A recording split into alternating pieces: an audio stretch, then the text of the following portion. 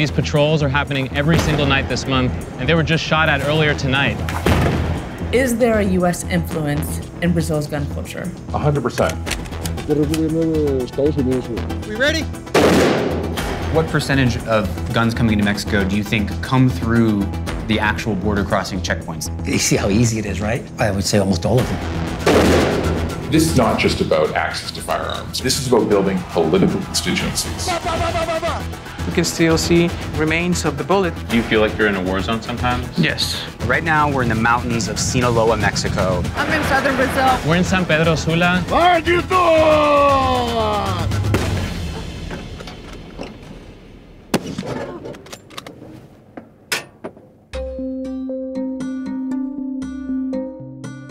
More than 44,000 people died because of guns in the US last year. That's the size of a small city, wiped out because it's so easy to buy weapons here. But that number doesn't come close to capturing the level of violence that we as a country are responsible for, because America's guns aren't just staying in America. For nearly a year, we followed the iron pipeline of weapons flowing from the US into Latin America. Meeting cartel members in Mexico, police officers in Honduras, and pro gun activists in Brazil to investigate how American guns and our gun culture are spreading throughout the region and fueling violence far beyond our borders. Some of this report contains scenes of violence that are tough to watch.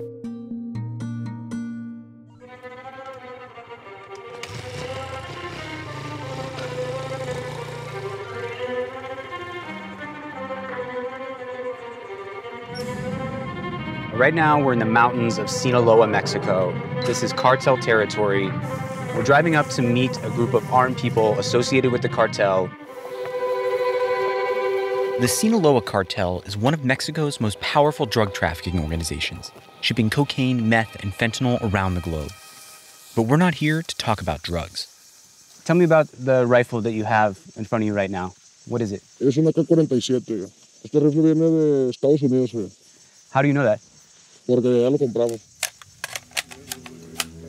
An entire arsenal of AK 47s, AR 15s, and pistols is readily available north of the border, along with other weapons of war, like Barrett 50 caliber sniper rifles. Are these bullets on your chest there from a Barrett? Sí, estos son de 50.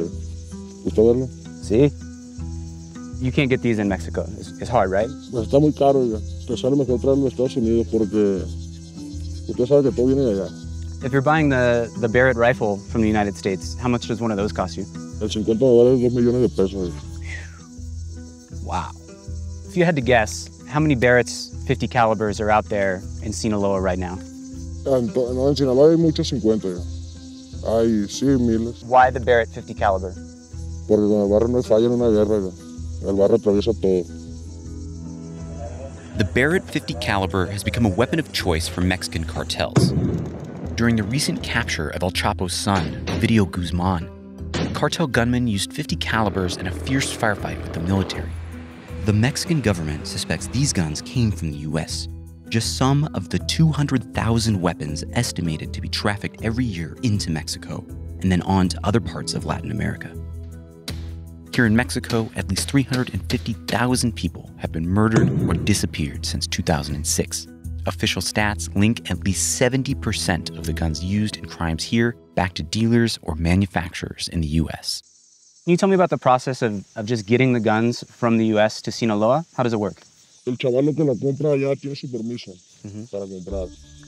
Para cruzar la frontera pagamos un, un flete. Él busca su medio de transporte y ya él busca cómo hacerle su, su, su, él busca su manera de hacerle el clavo, se lo va a traer en en un carro, en un trailer, en un avión, él busca la manera cómo clavarlo. What do you think about the gun laws in the United States that makes it so easy to have all these stores and anyone can just walk in and buy basically whatever they want? Me parece muy bien allá. Es una ayuda para nosotros y todo eso.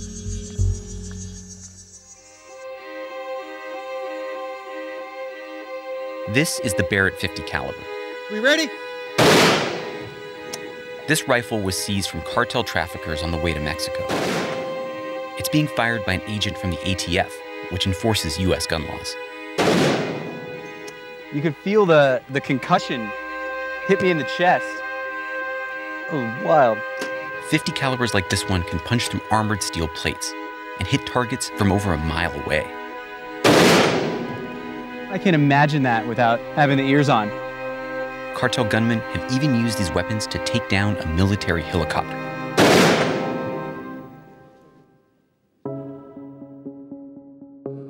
Fred Milanowski leads the ATF's office in Southeast Texas, a hub for cartel gun smuggling. The 50 cal is legal to buy in the United States. Now they, they go upwards of eight to ten thousand dollars. So uh, you know they're not being sold to a lot of people. But as the law currently stands, they are not illegal to own in the United States. How quickly are guns that are being bought and trafficked across the border turning up at crime scenes in Mexico? I mean, we've seen as quick as less than one week.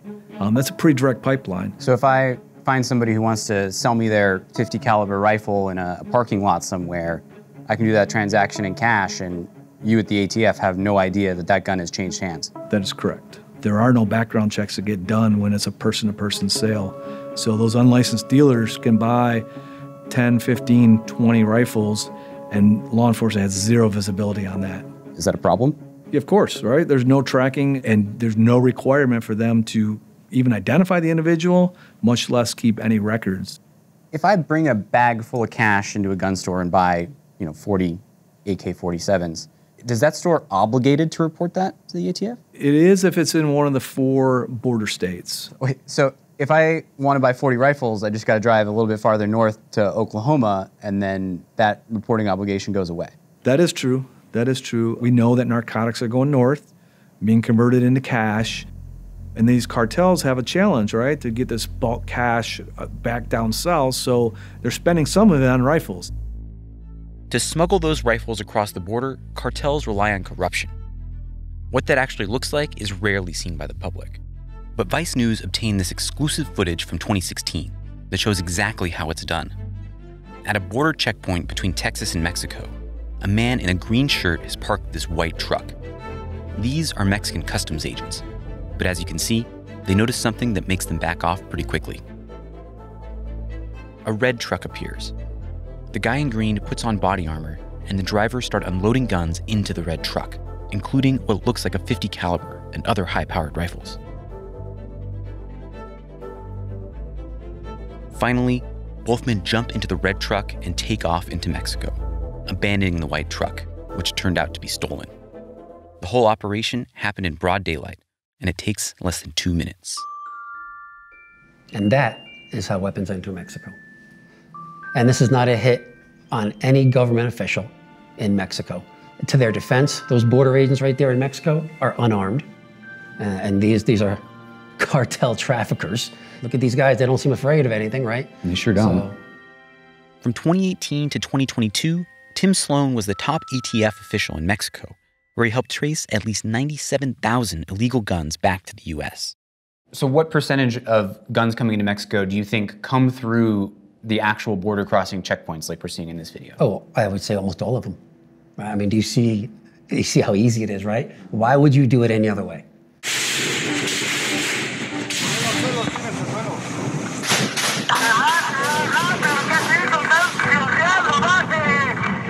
Trafficked weapons from the US end up with groups like the Jalisco New Generation Cartel, responsible for some of the most high profile attacks in Mexico.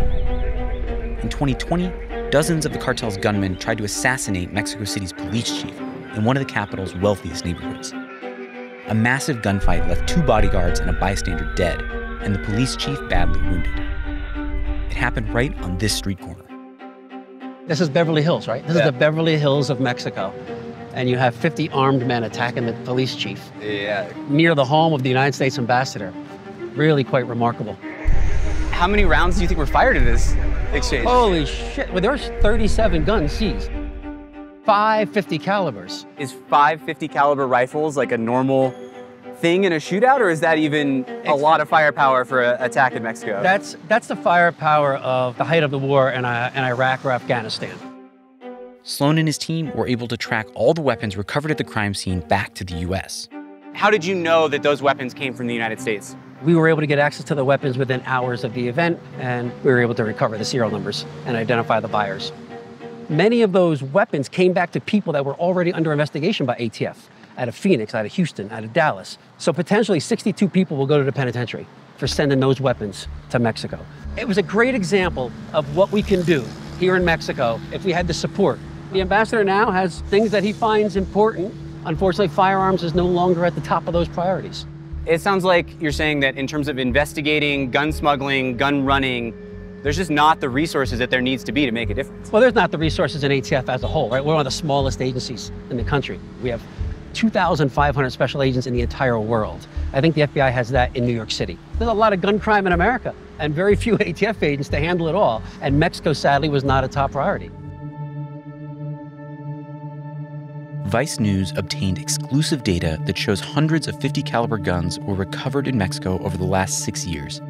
These illegally trafficked rifles came from stores and dealers across the US. These weapons are not for sale to the Mexican public. Neither are assault rifles. In fact, the country's gun laws are among the most strict in the Western Hemisphere, with just one gun store in all of Mexico. There's only one for the whole country.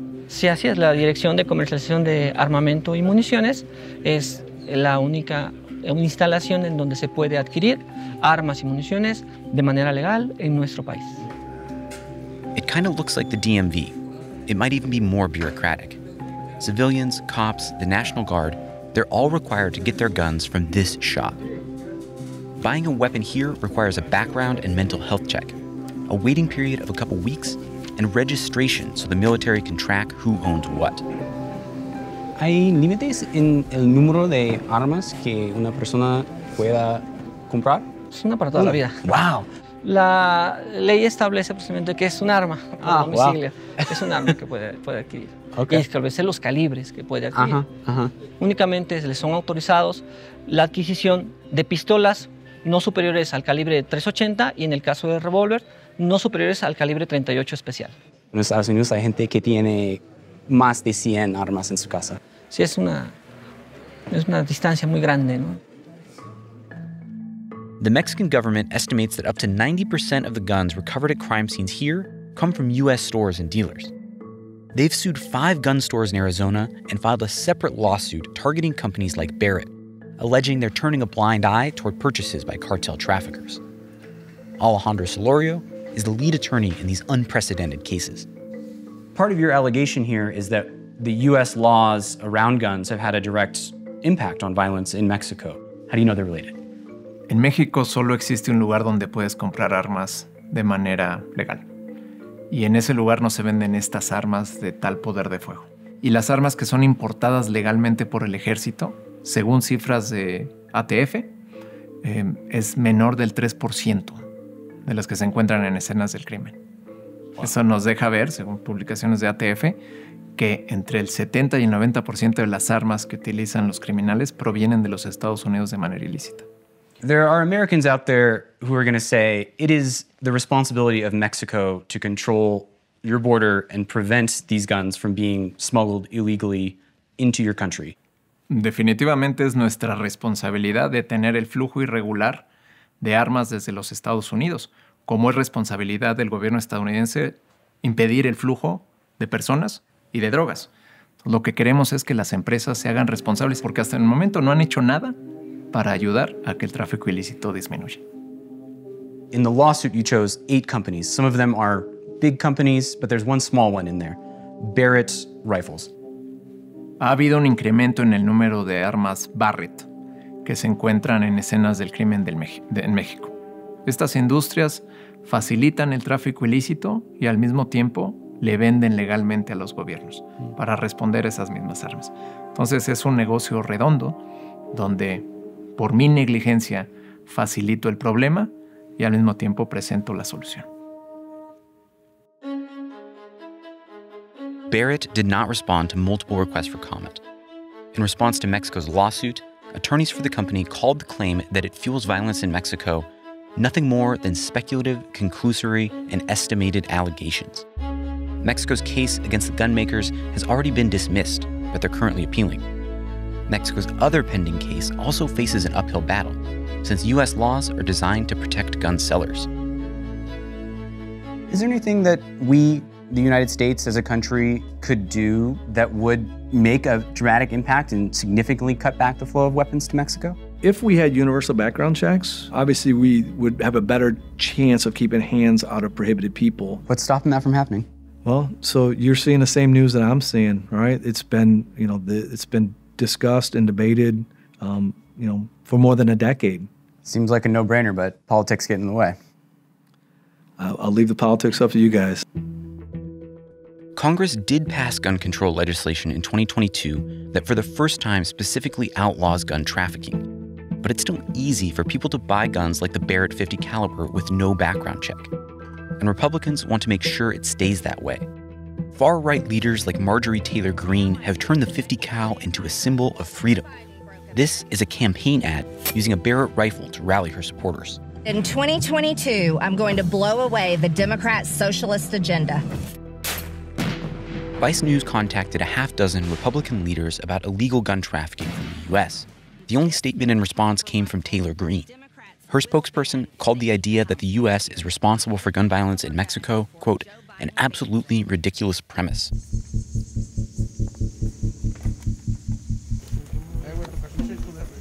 If in the future the U.S. changes its gun laws and makes it harder, are you worried that you won't be able to get the guns you want anymore? Pues si cambia sus leyes sí doy un poco. Porque no voy a poder comprar un, un arsenal, pues. What do you think people in the United States should know about you and your group? Pues que nos manden más armas más buenas y aquí las calamos. Estamos peleando con ellas. Que todo bien. Que nos manden más.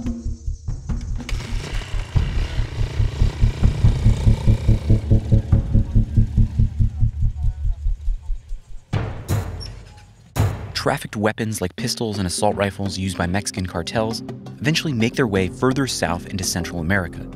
In Honduras, where thousands are murdered each year, gangs are often better armed than the police.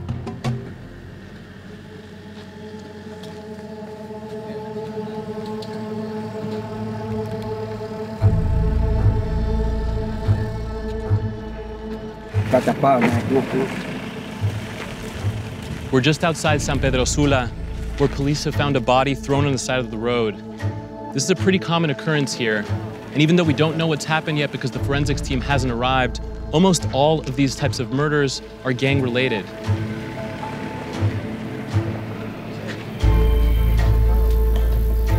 When a body is covered like this, it usually means that the person has been mutilated. No one can touch the body until the forensics team comes.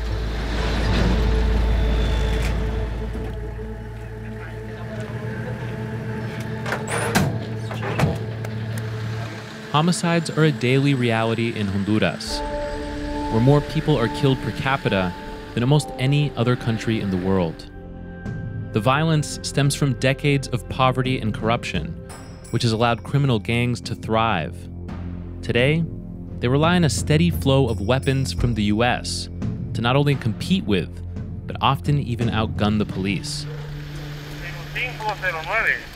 In December of 2022, the government began a months long crackdown all over the country, increasing police presence in gang controlled areas and granting them broad authority to search people and homes and confiscate illegal guns.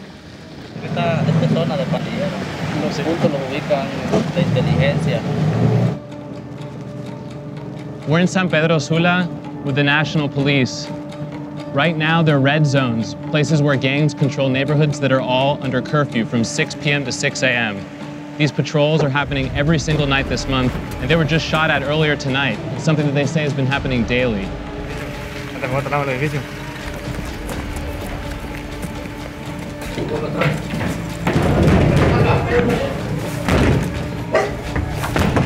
Going basically door to door through this entire apartment complex, making sure that no one's hiding anyone or anything. Meanwhile, there are families sitting outside watching, kids running around. Everyone's just watching what's going on. Ahora ahí. Levante la mano, levante la mano. Policía Nacional. Aquí no hay nada, aquí es casa decente, mi hija y yo, soy madre soltera. Y no tengo antecedentes penales, tampoco estoy limpia. For Hondurans living in gang controlled communities like this one, everyday life has come to an abrupt halt constant police operations and a strictly enforced state of emergency affect everyone who lives here, criminal or not. But police say this is necessary to disband gangs and remove high powered weapons from the streets. Since December, the Honduran National Police say they've arrested over 800 gang members and confiscated more than 700 firearms. Sí, se han decomisado armas de grueso calibre como ser AR-15, AK-47 y M16. Lastimosamente, el destino de todas estas armas que ingresan de manera ilegal al país eh, son para las estructuras de crimen organizado. Y con esta, pues estas eh, amedrentan a la ciudadanía y en cierta manera, pues también nos complican el, el trabajo a nosotros. Veo que todos andan con rifles, es porque los delincuentes tienen armas potentes. Claro, claro que sí. Las armas que nosotros usamos son de uso eh, semiautomático. Esto verdaderamente afecta ¿verdad? a lo que es la, la seguridad humana de, de- de- de un, de un Estado como tal, pero pues eh, como policía estamos haciendo nuestro trabajo a nuestro nivel Uno y adapta. estamos tratando ¿verdad? de erradicar este tipo de situaciones. Honduras es un país que sin estar en guerra tiene tantas muertes violentas y se vuelve un problema porque cuando hablamos de muertes por causa externa, el homicidio ocupa el primer lugar. People like Migdonia Ayestas, who study Honduras' violence epidemic, see the issue as a gun problem. The Observatory of Violence, where Ayestas works, recently found that around 80% of all murders committed here between 2005 and 2021 involved a firearm. ¿Por qué hay tantas armas de fuego aquí en este país? Se nos ha vendido la idea de que las armas de fuego brindan seguridad. ¿De dónde viene esa idea de que las armas de fuego brindan seguridad? Obviamente viene de los países que producen las armas porque necesitan vender armas y Estados Unidos es uno de ellos. It's widely known that the United States is the biggest arms supplier, but the exact number of guns that come here from the US is hard to quantify because there's limited cooperation between Honduran police and the ATF.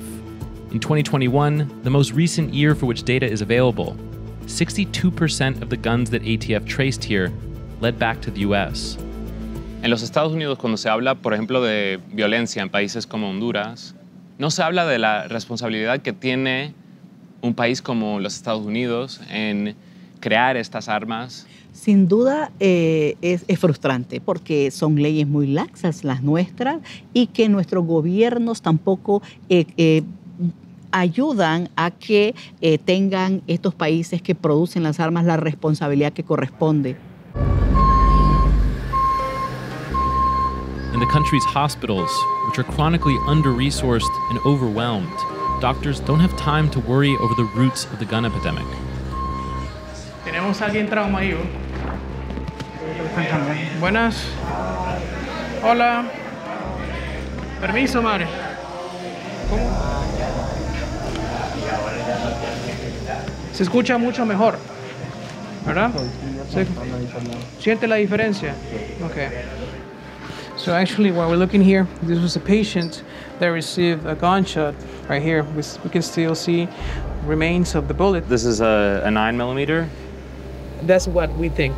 If he was shot with, say, like an AR-15, He will probably will bleed to death before arriving to the to the emergency. So the type of bullet, the type of gun, is the difference between arriving at the hospital, being treated, leaving alive, and Yes. arriving dead on.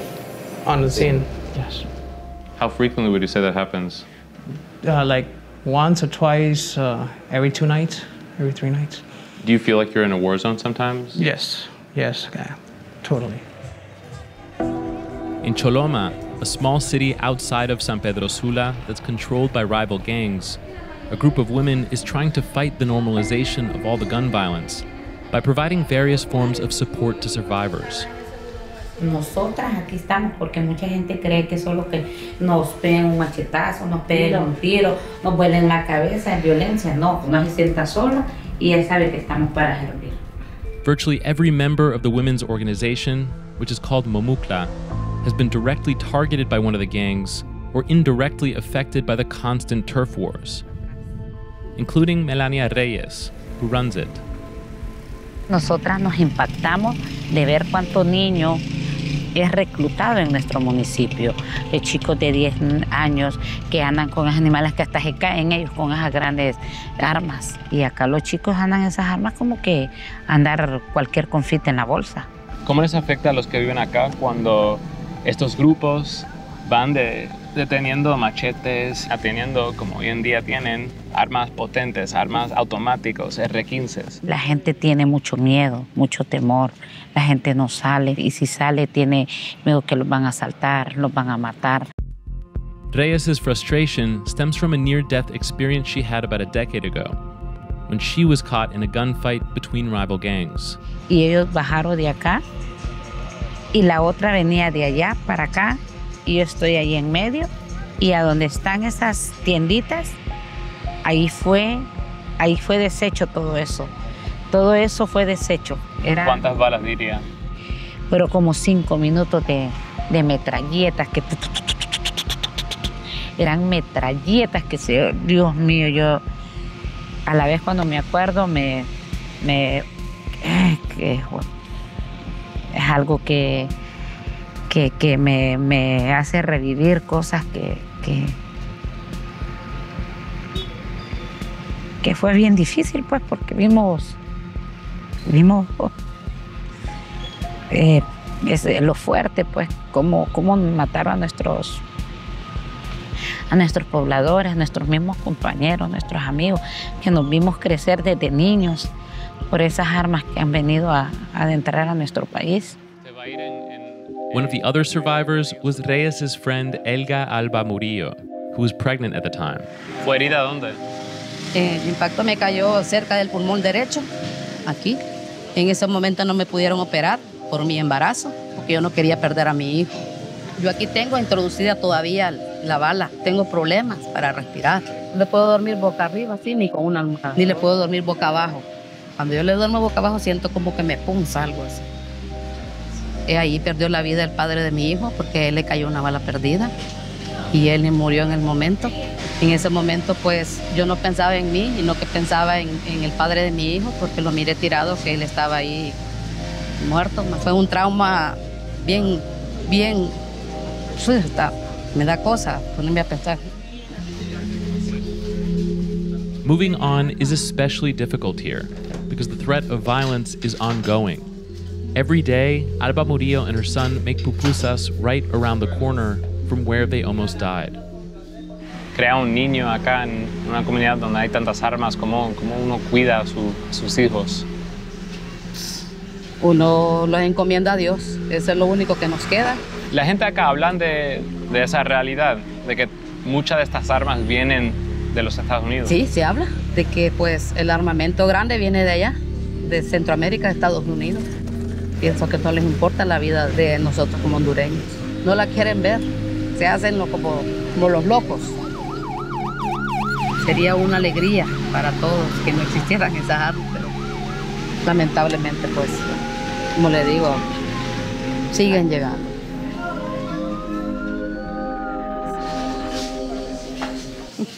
Por eso le puse Angelito, porque es mi ángel. American guns aren't the only things crossing our southern border. Our gun culture is also going with them. During Brazil's elections in October, we witnessed the growing influence of a pro gun movement that is inspired by America's NRA. And one day, it could be just as powerful.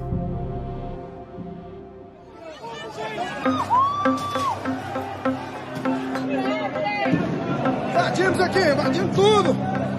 Invadimos! Filha das putas, esses bandidos! O povo na casa do povo! É o povo na casa do povo. On January 8th, thousands of supporters of former President Jair Bolsonaro stormed Brazil's Congress, Supreme Court, and presidential palace.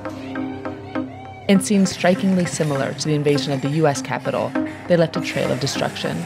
A vocês que sabem que o nosso país foi roubado, para nossas urnas, nosso presidente não é o Lula, nosso presidente é o Bolsonaro. For months leading up to this moment, We followed one group of die-hard Bolsonaro supporters, pro-gun activists. They've emerged as a powerful political force, and they're determined to bring America's love of guns to Brazil.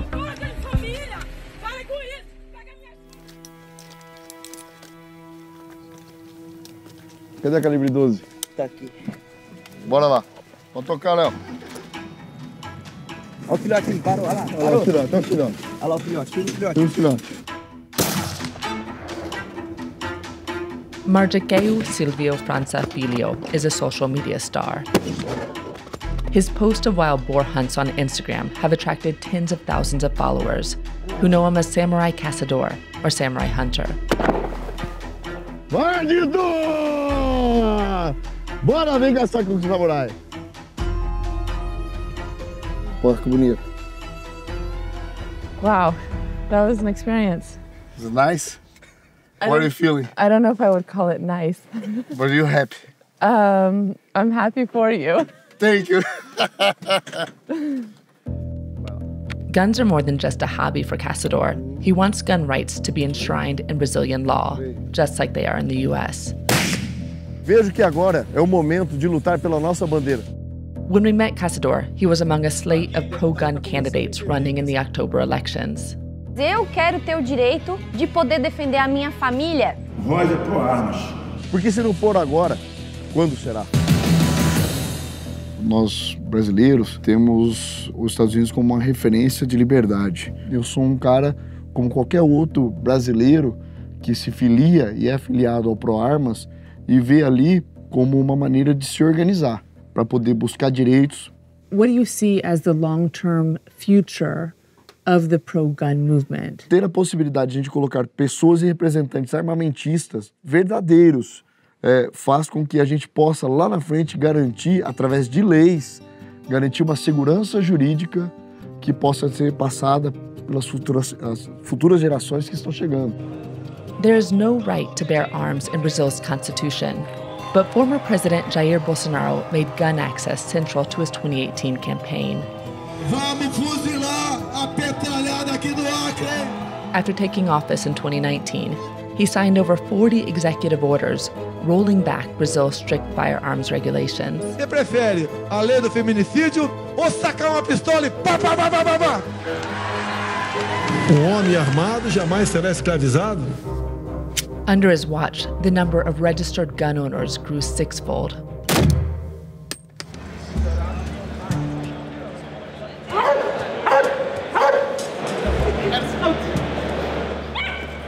I'm in southern Brazil, one of Latin America's biggest gun conventions. There's a lot of people here, companies from all over the world, including American companies, and it's just a scene.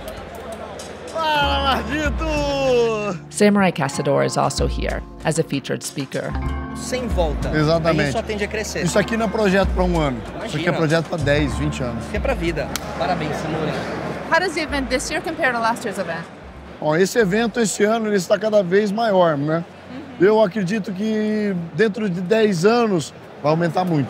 Na verdade, nós lutamos para que, independente do governo que exista, se seja um governo de esquerda ou de direita, a, a pauta armamentista se permaneça.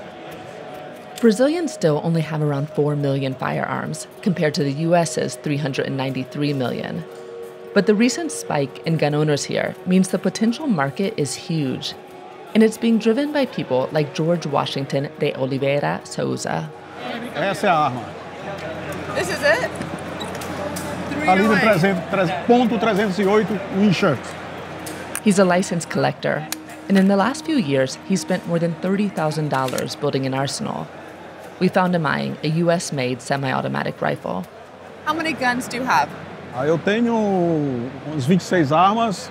Período, um curto período atrás, eu tinha só três armas. When did you start buying all these new guns? Outubro de 2021. You've purchased 26 guns since October of last year. Sim. Do you need 26 guns? Não, mas é paixão. Before Bolsonaro, could you own this gun? Não, You couldn't. não, nunca. Nosso presidente hoje é um presidente armamentista, então eu acho que isso traz mais segurança para o nosso país. Os bandidos hoje estão sabendo que o cidadão de bem hoje está armado. If this argument sounds familiar, that's because it's straight from the NRA playbook, featured again and again in NRA ads. That's right. We're the good guys with guns they talk about. The only truly free people who have ever walked this earth have been armed people. I'm the National Rifle Association of America, and I'm freedom's safest place. The NRA has a history in Brazil. Before 2005, the gun movement here was all but dead. Luis Inácio Lula da Silva was president then, and he backed a referendum asking voters to ban gun sales to civilians altogether. Eu acho que é um passo na intenção de melhorar a segurança pública. Também vai ter que andar armado, todo mundo tá armado. Aí já vai virar um faroeste, né? The NRA took notice, so it helped Brazil's gun lobby strategize and fight back. Não, eu não abro mão da minha liberdade. Voters were flooded with television and radio ads about personal freedom, just like in the US. Minha vida só tá começando e já tem gente querendo mexer nos meus direitos. Contra a proibição. Vote um. Vote não. The campaign worked. Voters overwhelmingly rejected the ban. The idea that civilians ought to have a right to an arm, that is a purely imported argument. Robert Muggah has been studying arms control in Brazil for a decade. Is there a US influence in Brazil's gun culture? 100%. Brazilian gun culture, to some extent, has been invented and imported by US gun advocates. The NRA came to Brazil to support the pro arms campaign, bringing a discourse that had never been seen before in Brazil. Why does the NRA care about Brazil, and why would the NRA care about Brazil? Make no mistake, the NRA understands the importance of international rules that could affect domestic interests at home. This is not just about access to firearms. This is about building political constituencies. I think what the Bolsonaro family understand is that this is a voting bloc. This is a constituency they can tap for future elections, and they've been doing that very successfully.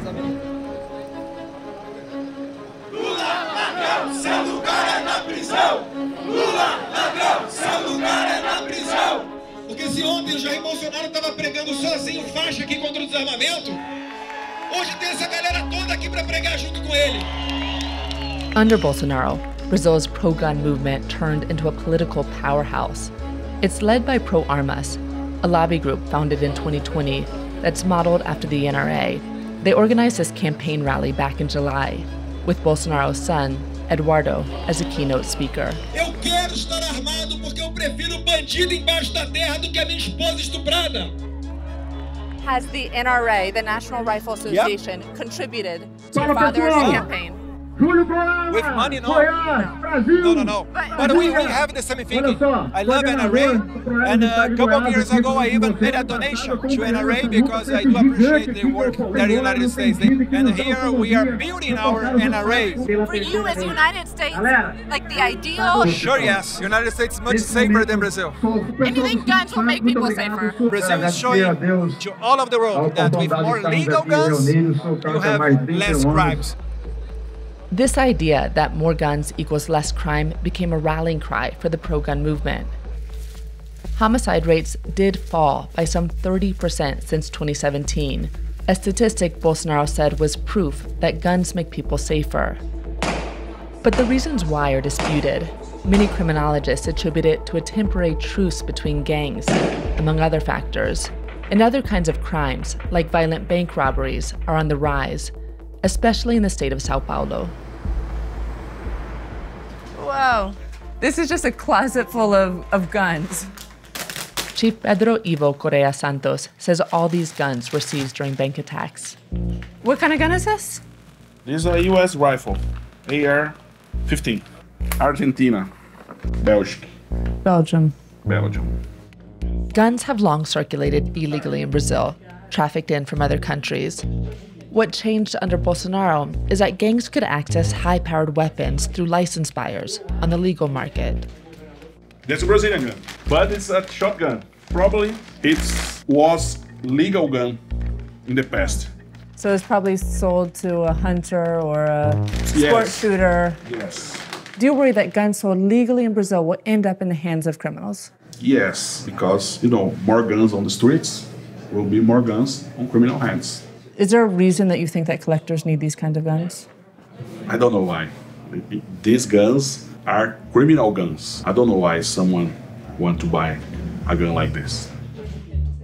Legal guns are already spilling into the illegal market. In dozens of cases, police have accused licensed gun owners of arming Brazil's most notorious gangs. Brazil is already the homicide capital of the world. By introducing this new equipment into the markets, both the legal and then into the illegal markets, we created a problem for Brazil that's going to last generations. Does the pro gun movement end with Bolsonaro? I think Pandora's box has been opened, and I don't see this going back. With or without Bolsonaro, we're going to be seeing uh, the pro arms movement continuing in its influence far after he's gone. Bolsonaro lost the election by a hair, less than 2% of the vote. Alguém vai embora! Eu não escutei, tem patriota aqui! Samurai Caçador also lost. He joined thousands of other Bolsonaro loyalists in protest, calling for a military intervention. On December 24th, Souza, the gun collector we interviewed at the convention, was arrested for attempting to set off a bomb in Brasilia. During his arrest, police seized a thousand rounds and eight firearms, including the one he showed us.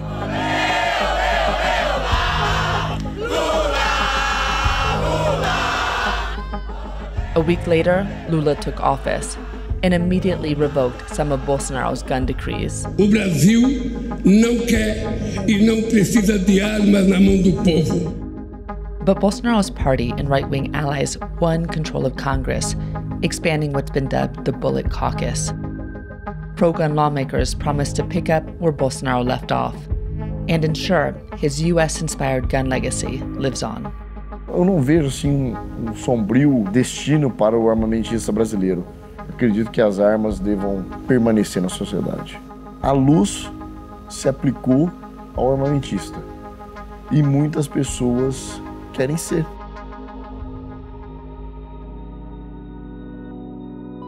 Up and down Latin America, we heard the same thing. American weapons and gun culture are spreading like a virus, endangering innocent people all across the region. The question is how much blood needs to be shed before the United States owns up to its role in fueling the violence and finally starts taking the issue seriously.